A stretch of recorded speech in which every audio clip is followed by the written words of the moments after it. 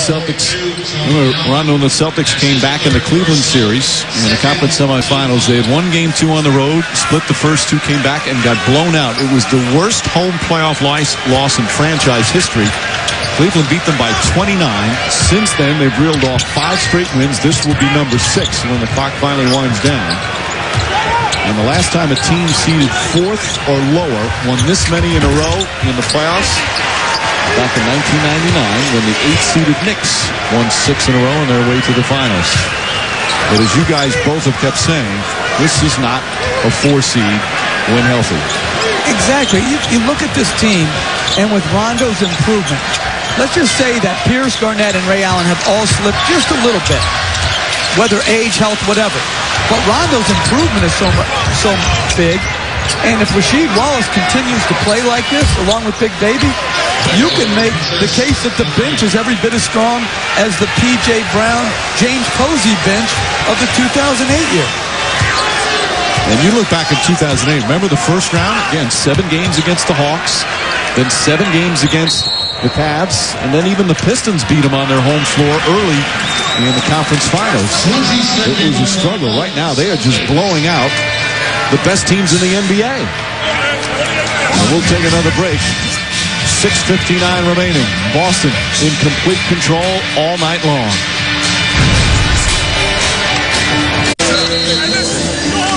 85-56. That is not a mistake. That's the score with 6.59 remaining.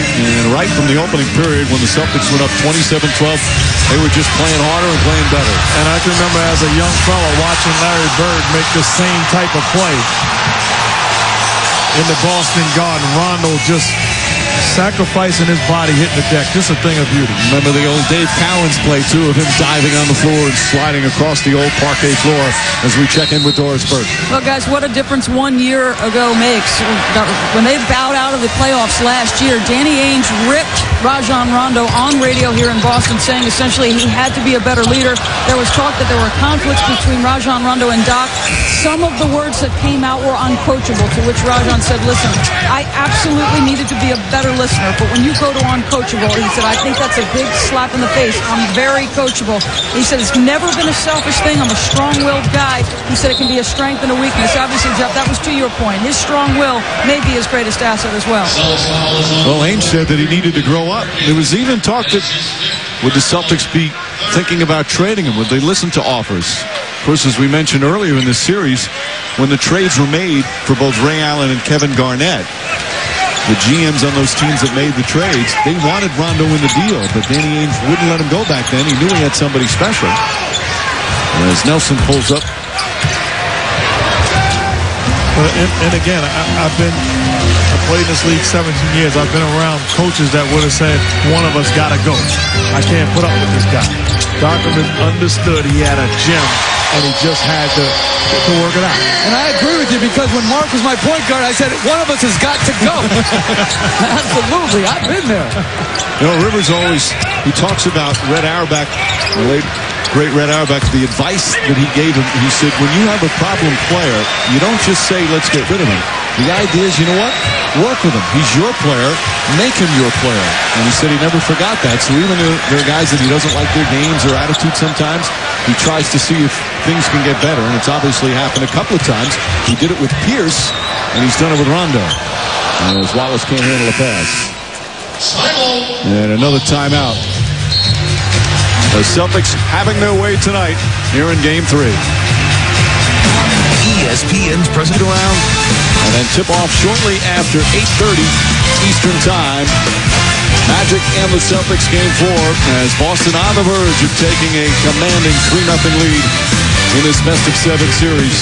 They have been in control throughout, and Kevin Garnett watching what's become a tradition there on the big screen. They play old clips from American Bandstand in with the fans dancing in the stands at the current game, and that gentleman there in the full beers, his name was Gino. He's become a huge tradition here where they all try and dance like Gino back from the old classic TV show American Bandstand. The players get a huge kick out of it, and the fans love it, uh, certainly on nights like this.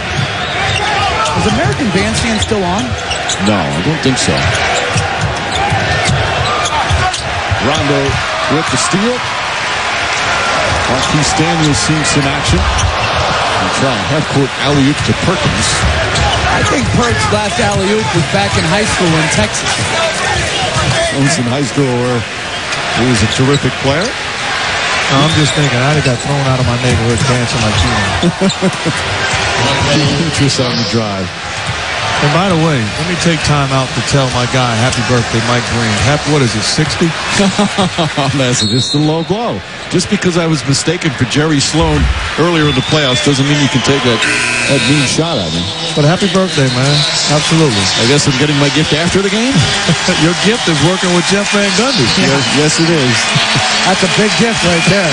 Meanwhile, a standing ovation for Rajon Rondo. 11 points and 12 assists. And as we've shown several times already tonight, that play where he dove on the floor, took it away from Jason Williams and put in the layup. That epitomized this game, in many ways this series. Michael Finley won't go.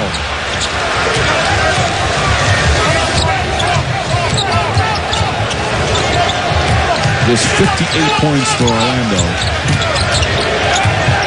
Shelden Williams is also in. Look at this Celtic bench players. They're playing defense like it's a close game. Brandon Bass, seeing his first minutes of the series, throws it down. Free agent who came from Dallas. But I like that move by Bass. That's making a statement. That's making a statement saying, I want to play. I agree. Davis misses. And just tuning in, seeing the end of this one, Davis was a big spark in that first half. Davis has 17 points in 23 minutes off the bench. As Jeff pointed out earlier, the Celtic bench between Davis, and Rasheed Wallace, and Tony Allen has been excellent in this series. Peters draws the foul. You know, here's a guy that hasn't played yet, waiting for an opportunity, and then just makes a grown man move in the middle of guys that want to foul him and want to be physical. Finishes it with force. Bass played his college ball at LSU. Was a second round pick of the Hornets. First two years with the Hornets, then two years with Dallas. Signed a four-year, $16 million deal. Where it saw sporadic minutes during the regular season. And even less in the playoffs. And he's a guy that can knock down the mid-range jump shot, can finish at the rim. Certainly can play for a lot of teams in this league. Nate Robinson getting some minutes here as the Celtics just wrapping up one of their more dominant performances in their storied playoff history. And that's the thing. Some of these victories, both against the Cavs and the Magic, not only wins, but just dominant wins. Future stepped out of bounds.